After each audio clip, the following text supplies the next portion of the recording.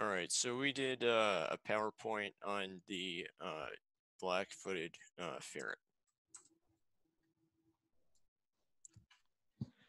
Okay, so uh, its range was originally uh, between southern Canada and northern Mexico, but uh, it was it's been decreased over the past hundred years. Um, but now they're starting to reintroduce them to uh, various states in their former range, uh, as you can see in this picture on the bottom left.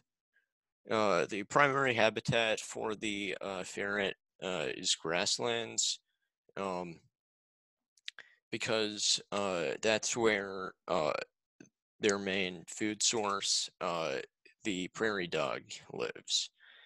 Um, which about 90% of its uh, diet comes from uh, prairie dogs.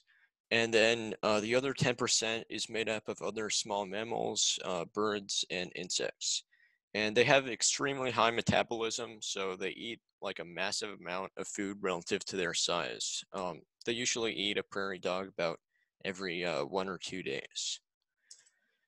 Uh, an interesting behavior or a couple interesting behaviors uh, that the ferrets uh, partake in is that uh, they're extremely playful, um, doing stuff like a ferret dance, uh, in which they like arch their backs and uh, hop backwards. Um, but they're also a very vocal animal uh, that communicates with a variety of different noises, including hisses and whimpers.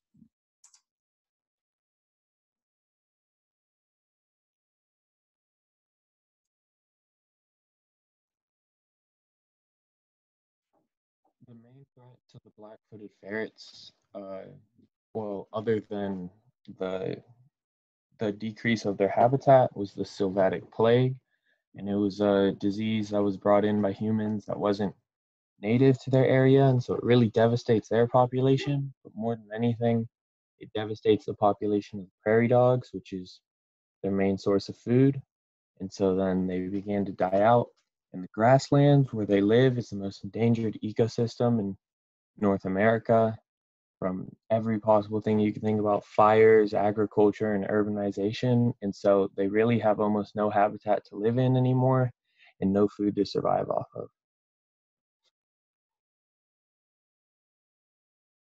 Uh, there's something called the black-footed ferret species survival plan. It's uh, they they start making plans for when animals start becoming endangered, and and they have six facilities across the U.S.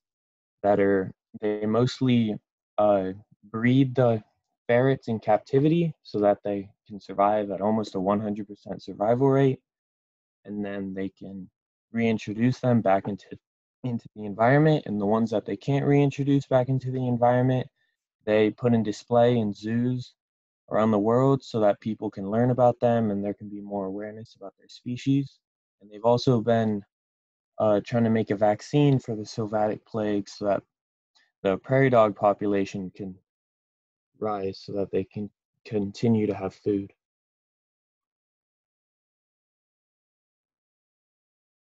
And uh, this is a drawing with some of the common traits of the black-footed ferret.